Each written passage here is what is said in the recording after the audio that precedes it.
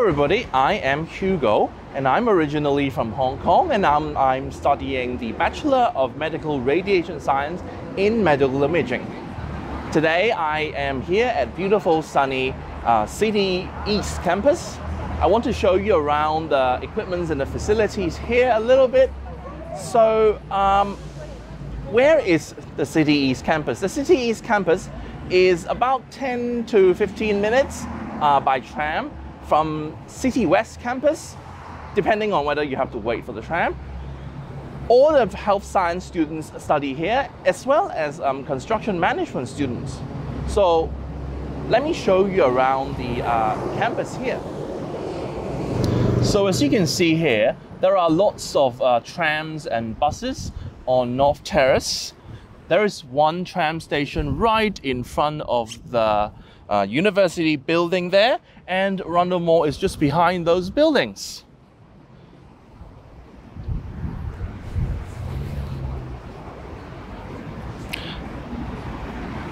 As we walk around the university campus, we can see uh, the Brookman building again.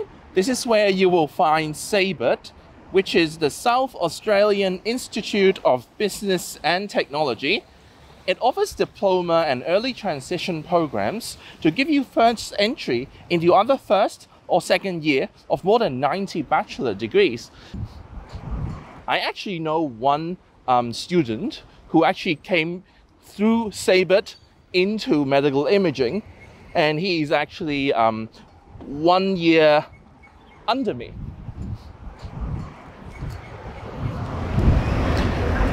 As we walk into the campus, I wanted to show you a little bit of facilities around the university. Behind me there is Lot 14, where you will find the Australian Space Discovery Centre, which got interesting um, technology related to the space. Five minutes walk behind that building is the Adelaide Botanic Garden, where you can enjoy a tranquil walk and learn about um, plants that you know never know existed. On that, the other side of Frome Road, if you walk 10 minutes down that road, you will find the Adelaide Zoo. It's got lots of uh, interesting animal. However, it's a $30 concession fee. All right, I've now flipped the camera just to show you a university map here. Um, university maps are located all around uh, the campus. As you can see here, there are many buildings in the City East campus. Each of the campus has their own code. For example, Bonython Jubilee here is BJ. Um, this is very useful for you to know where your classrooms are because a lot of the classrooms have their own code. Okay, now that I've shown you the map, let me show you the first building, which is the library.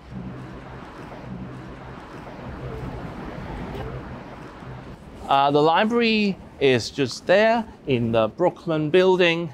Um, there are many entrances to the uh, university. The Frome Road entrance I showed you is just one of them. So this library is tailored to health science students. So you will find a lot of uh, resources that is tailored to them.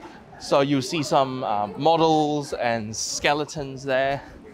Just one tip uh, for new students studying, it's very useful to get in the library, get to the same spot, and uh, start studying. Otherwise, your um, if you are at home and you're studying, uh, your body will say, "Oh, this is a place where you sleep," and you will not concentrate as much. I've done that all the time.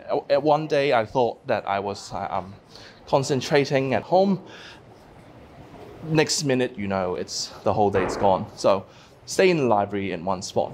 Now, this is the uh, models and the skeletons that I was talking about here. Uh, all the students can use them. You can move them around, learn about the bones. Us radiography students, we just spin, spin the skeleton around to look at different projections. And as you can see around here, you have many uh, computers and other equipments. So the library has uh, four floors, and in, the, in, addition to the computers that I've shown you, there are other um, study spaces, there are quiet study spaces. Um, there are lots of power PowerPoints, so if you bring your own device, that works as well. So that's pretty much the library. Um, let, let's go out and show you other places. So, okay, uh, now let's uh, get out of Brookman Building through the library entrance that I just mentioned. And we are going to Building A, where all the food is. So that's Building A. Uh, there are three entrances, well, actually four entrances if you count two floors to Building A. Uh, in a moment, we will see the restaurants you have here. The first restaurant you see is a Japanese type restaurant. You have here a lot of um, formally restaurant spaces, but then as you can see, there are so many students here uh, studying and working on their courses because you have um, PowerPoints out of power outlets out of these walls as well. So the, besides the library, um, the A building is actually um, also a good place if you want um, some space to study. As we pan around the camera there, you can see we have the um, cafe building there. Um, if you can see my finger there, I go there so often that the baristas all know my name. Now we're walking down uh, the building and we will go down and see the student lounge here.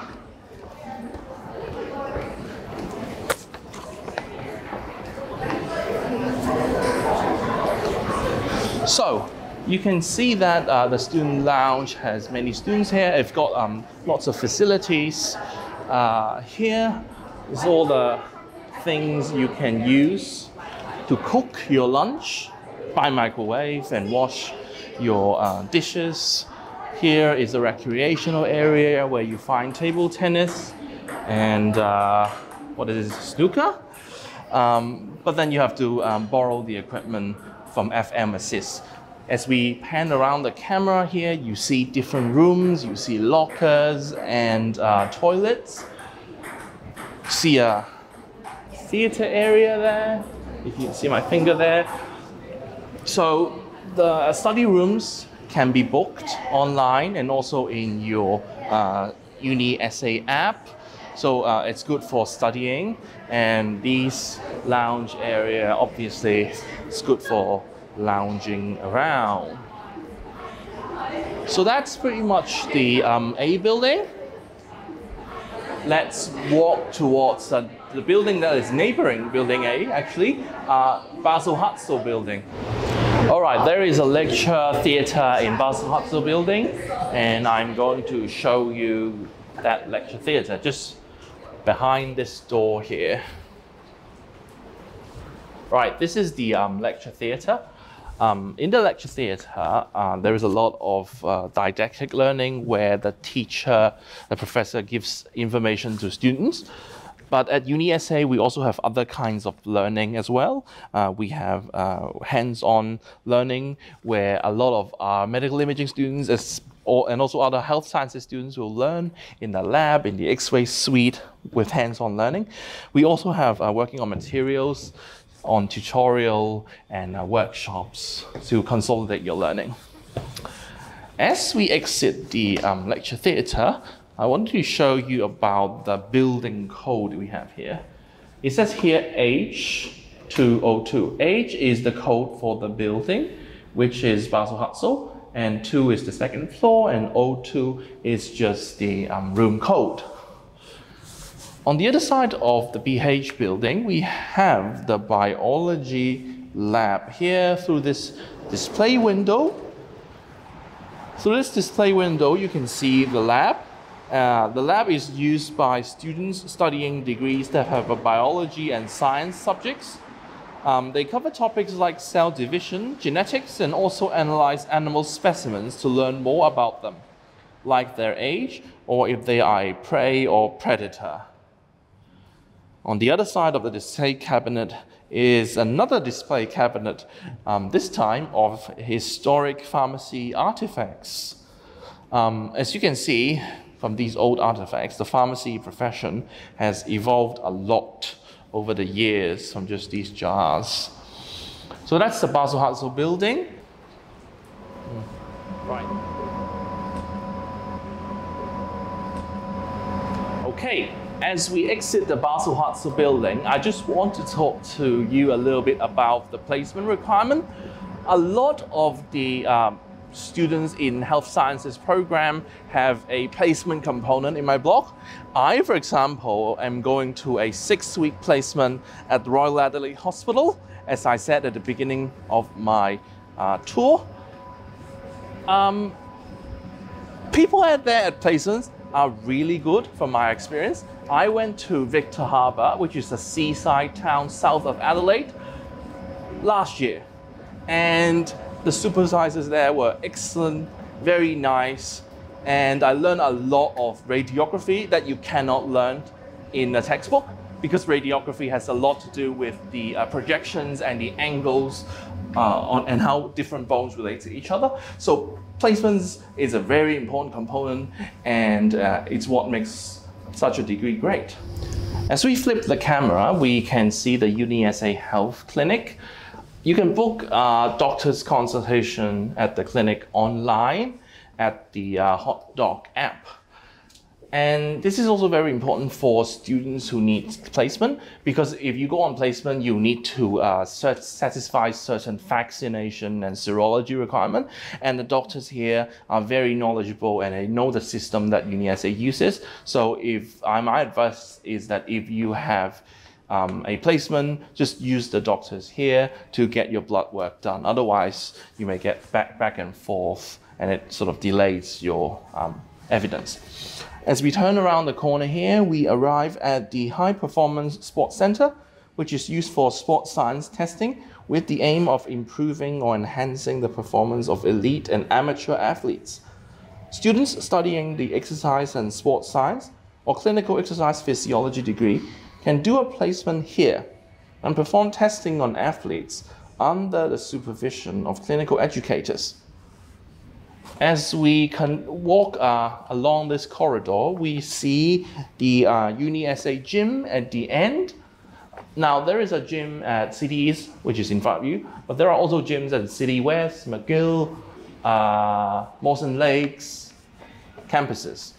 So um, the gym is catered to people of all abilities and fitness levels. There are lots of people here, so I can't show you their faces, but I can show you these pamphlets, which tells you about the various club, uh, UniSA Sports Club. Uh, there are so many of them. Uh, I am a member of the Rock Climbing Club. As you can see here on the pamphlet here, they meet at Platinum Hall in City West on Tuesdays, and you, you know you've got a rock climbs there, but it's difficult.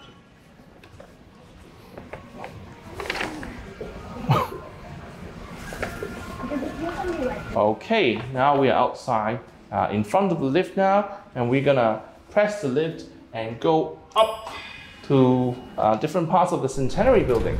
As I flip the camera, the lift has arrived. Let's go into the lift. So on the fifth and the sixth floor of this building, uh, there is the Horizon Hospital and Health Service, which is a simulated hospital and health service for um, nursing and uh, midwifery students. It's probably a good time for me to talk about um, the staff there. Staff here at university are mostly industry professionals and also a mix of academic uh, uh subject matter experts. Um, a lot of my medical studies professors are working in the um, in the field and in the hospitals. Sometimes like one week a day, and they teach four weeks a day. Um, for subjects such as anatomy, physics, pathology, the professors are all subject matter experts. Now we have arrived at the plaza. Ooh, looks like it has been raining here. Anyway, this is FM Assist, also known as security. Here you can get your mask if you've forgotten, and also you can get some of the equipments for snooker table and also table tennis as well. On that side of the building is the plaza. The plaza is the open area where all the large activities happen. So some events that I've personally been to, including uh, Bar, which is free breakfast in the morning on Tuesday. Uh, you have some wellness days where you have um, animals to pet and crayons to work on. So this like for a city boy like me, it just gives me a smile when I see the animals. And also you have the um, UniSA Club Fest where all the um, UniSA clubs show off what they are and you can talk to people there. That's how I join a lot of the clubs.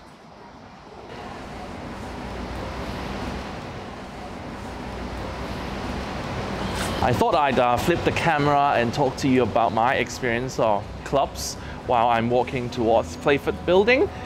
I'm actually not a big club fan, so I only have a few clubs. Uh, but the clubs I join are very career focused. Um, I have joined the um, Med Radical Club, which is the social club for my particular program, and I've also joined the um, ASMIRT Student Committee. ASMIRT is the industry peak body for us medical imaging professionals and uh, radiation therapists. So I get to meet a lot of um, industry professionals and get to learn about various specialties through connection and it's very useful. So I do recommend, even though you're not um, interested in play and stuff, to join a club. Um, there are many, many clubs that UniSA, maybe you will be able to find a club that suits you, even if you are career-minded like me. Okay, enough of talking about clubs. Let's uh, look at Playford Building. This is the Playford Building. It has important student services such as uh, the Campus Central and uh, USASA. On my right here is Campus Central. You can go to them for advice or any inquiries, including enrollment, program and course advice, student IDs, payments, graduation, and much more.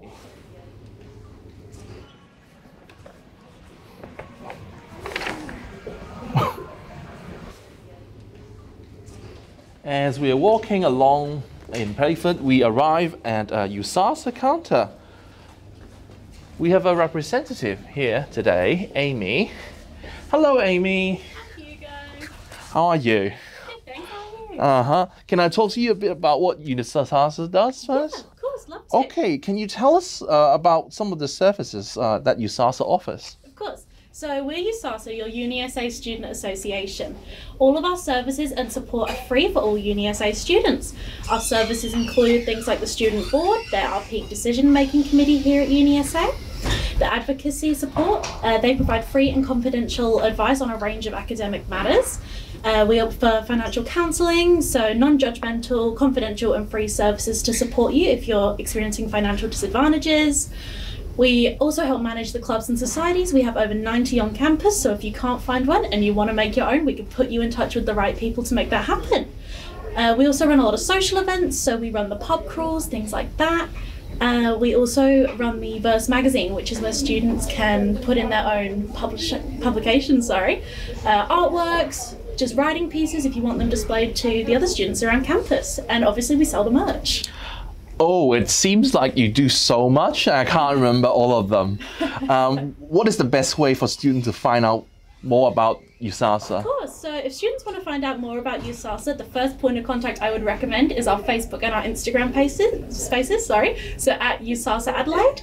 You can also find out information about our opening times and even purchase merch online on our website. You can also pop into one of our student spaces on all four of our metropolitan campuses.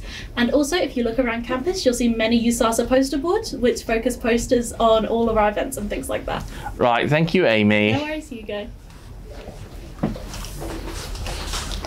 Okay, as we leave USASA, we see that opposite USASA is the student kitchen there. That's um, basically got the same things that you saw in um, the bottom of A building.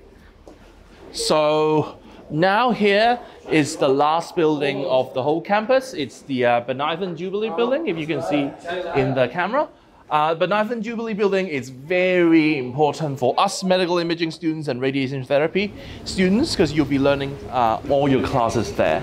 It's also where the occupational therapy students and the construction management students have their, a lot of their classes. Anyway, that's the end of the um, City East tour here. Thank you for joining me on this tour. Bye bye, everybody.